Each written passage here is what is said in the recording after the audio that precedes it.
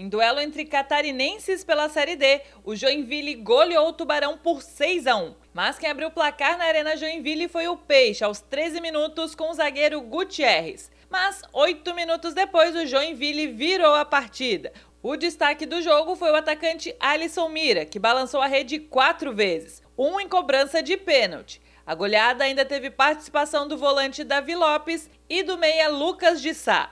Com o resultado, Joinville chega aos nove pontos e assume o quarto lugar, enquanto o Tubarão, com três, segue na sétima colocação. Na próxima rodada, no domingo, o Peixe recebe o Pelotas às 4 horas da tarde em Tubarão. Um pouco mais tarde, às 6 horas da noite, o Joinville enfrenta o São Caetano em São Paulo.